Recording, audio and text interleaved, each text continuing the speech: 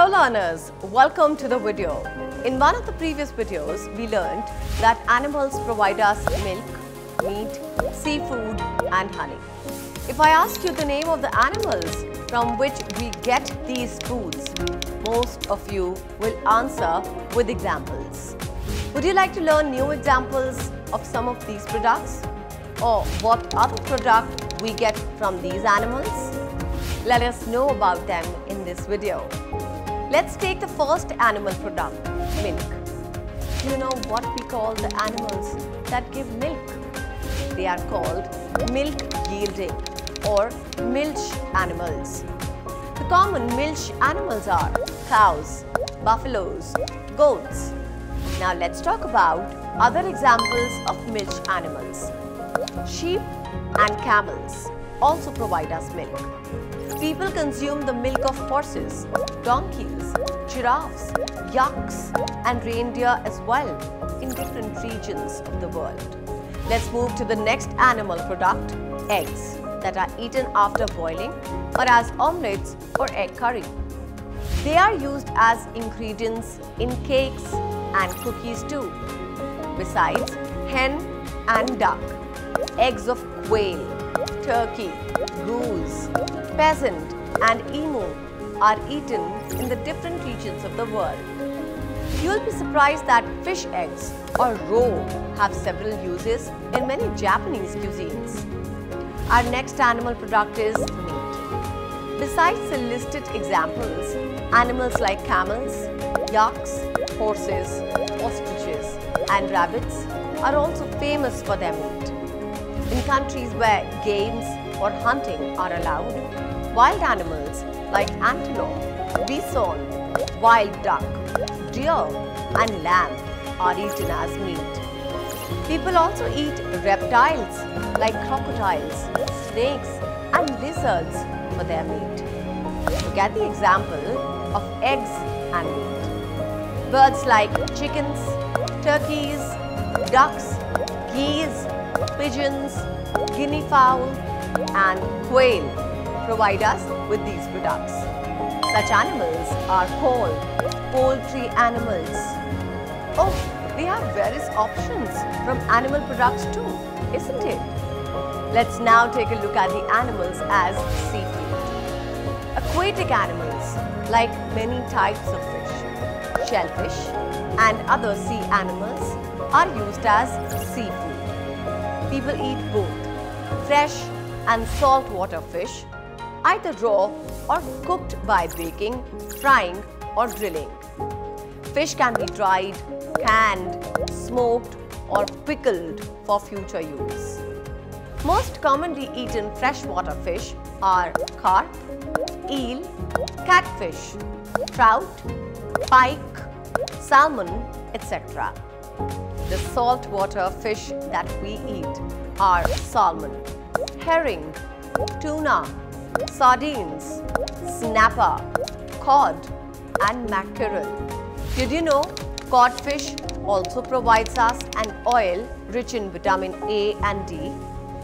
Shellfish are small aquatic animals with a shell around their body.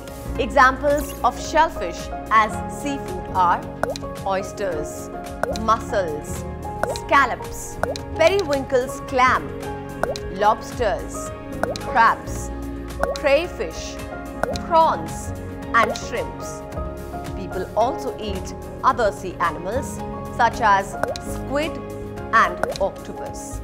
Last but not the least, the another animal product is honey. We all know honeybees make honey and store it in their honeycomb. We also know honeybees are dangerous insects as they sting when they sense danger.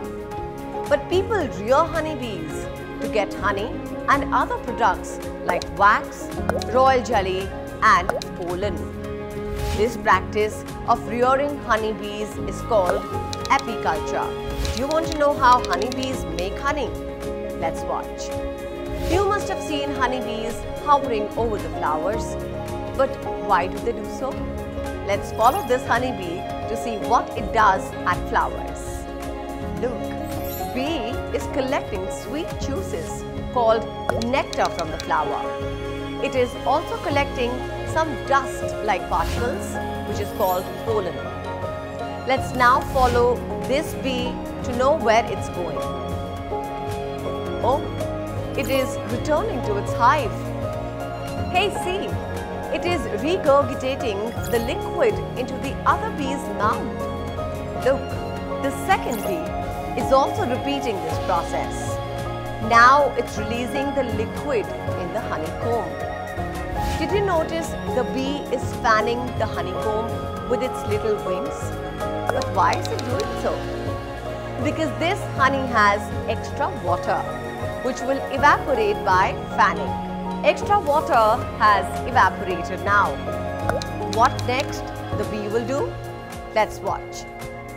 Bee is releasing some liquid from its own abdomen to cover it. Oh, it has sealed the comb. See, this liquid is becoming hard. This is called bee wax.